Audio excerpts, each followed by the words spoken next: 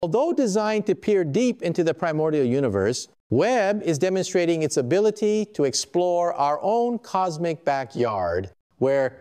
mysterious objects like 3I Atlas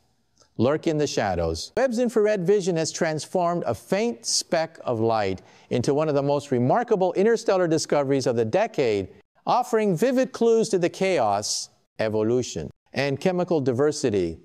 at work on a galactic scale.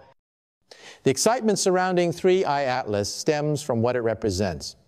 The remarkable resilience of planetary matter, a body that can wander interstellar space for millions of years, exposed to cosmic radiation and extremely low temperatures and remain largely intact, suggests that planetary systems can create structures that outlive their parent stars. The finding reinforces the idea that matter ejected from a star system doesn't just dissolve into dust, but can survive in large chunks that help form new worlds